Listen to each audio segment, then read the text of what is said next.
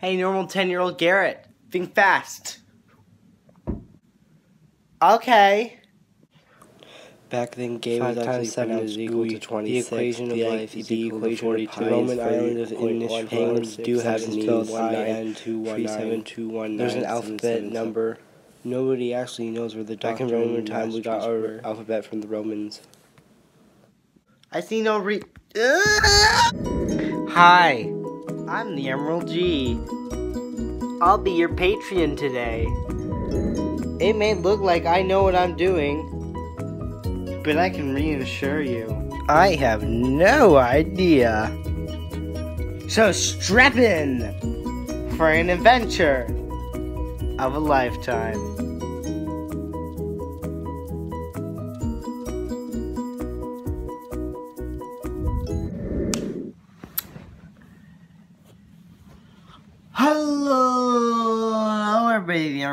Here. I looked at the camera. Shh. I don't really want to yell for volume, so I have a microphone right here. That's probably really loud for you guys. I'm sorry, but not sorry. Anyway, 10 year olds.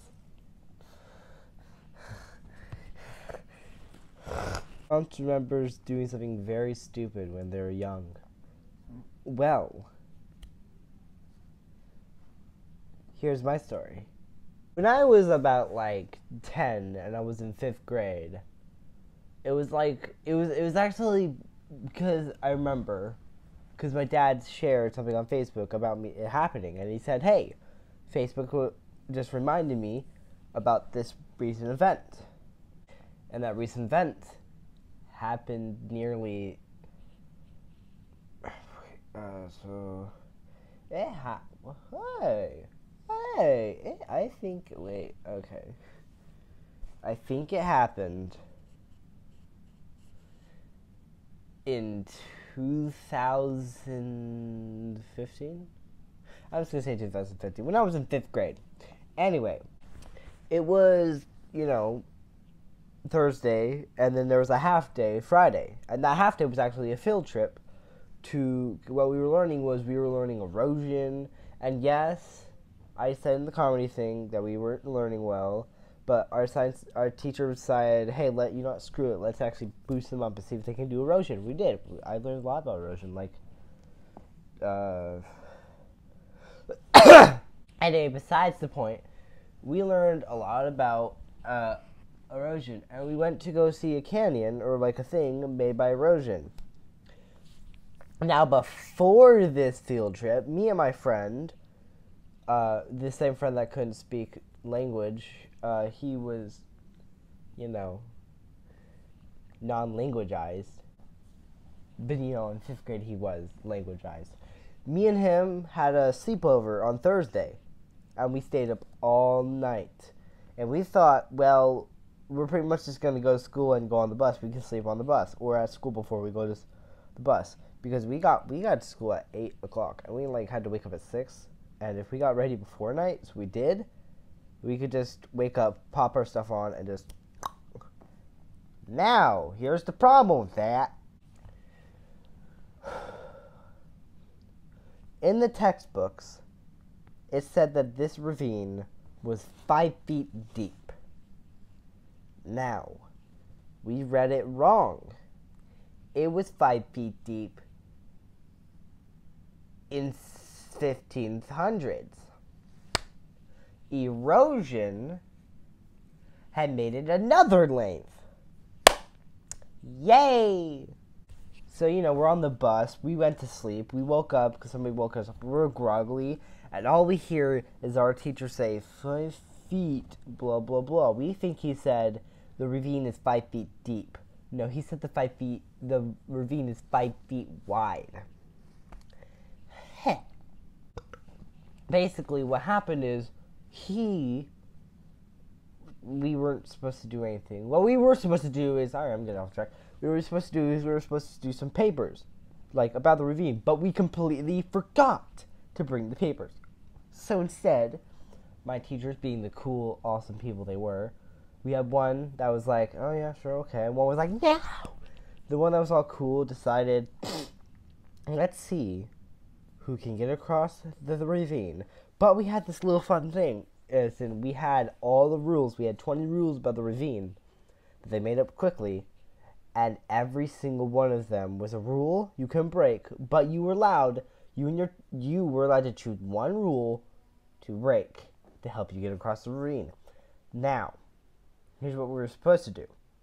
Basically, they were supposed what what one team did is one people organized, and there's tons of things about like rules like don't mess with the wildlife, meaning don't mess with the trees, don't pick up items, don't be stupid, don't blah blah.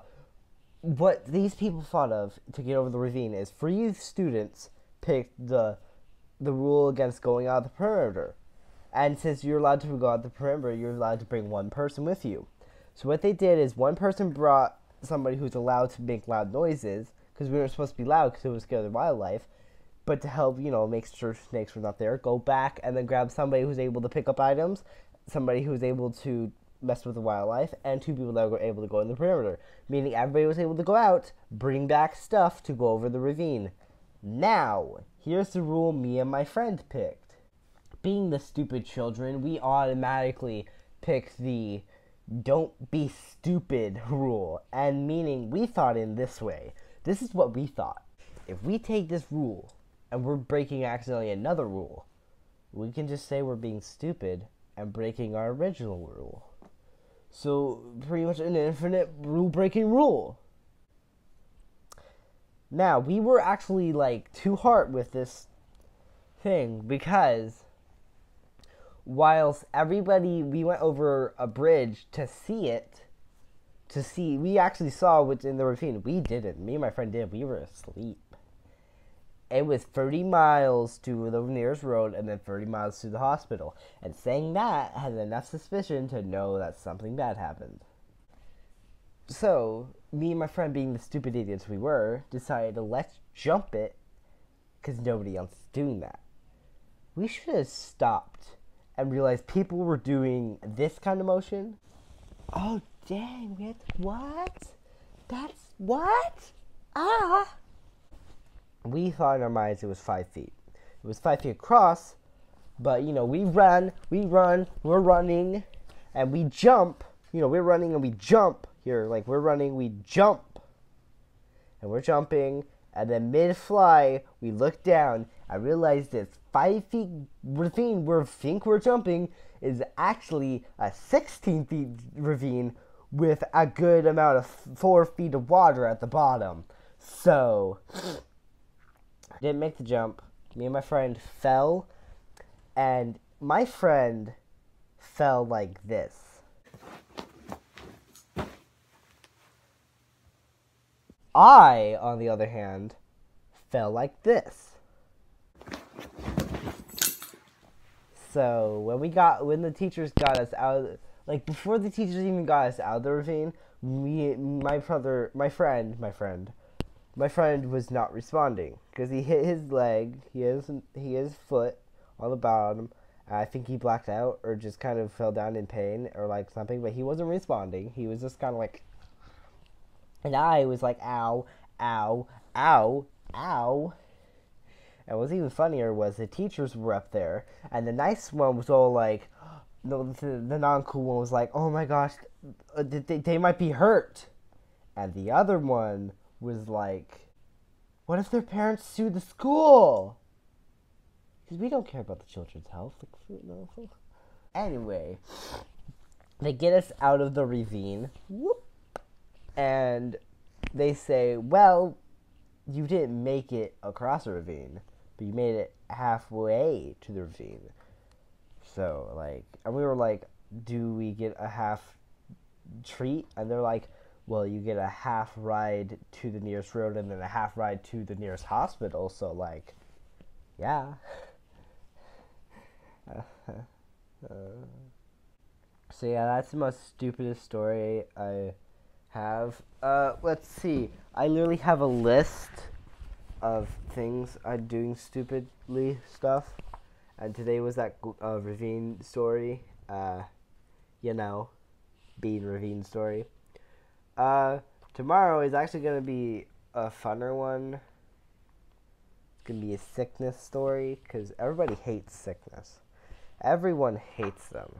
Everyone hates getting sick. Everyone hates being sick. It's the worst feeling, and it should just go die. I'm sorry. I should probably be up here because you can see my face. Down here, you can't really see my face that well. Well, I'm still looking at that. My face. Uh.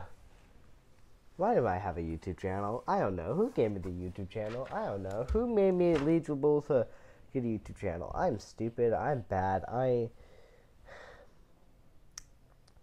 I'm freaking fabulous. Anyway, that's all I have for now, people. But just remember, we got zero subscribers today. Because, you know, no dedication. Our, remember, our goal for this month of October is to get six more subscribers. And the rest for this year is to get 40 subscribers. If you guys can hit 50 subscribers, here, how about this? On my 25th subscriber milestone,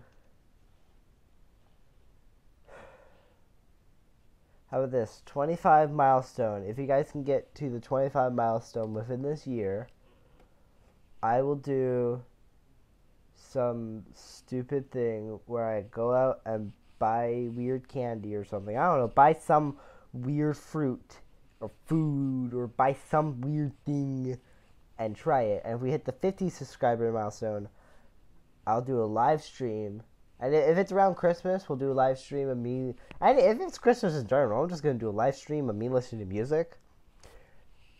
And if anybody copyrights me on the live stream, I could just say, well, here I'm gonna say all of the music is not mine, and I will say who it is who made the music before I do it. Bitches. Oh, by the way, this is actually this is French uh, middle finger. This is American. No, wait, this is American middle finger. This is French middle finger. Story about that is, you know, stuff. Okay. I'm being stupid. Anyway, uh, bye all my beauty and beats. I'll see you later. This is the Emerald G signing out. Okay.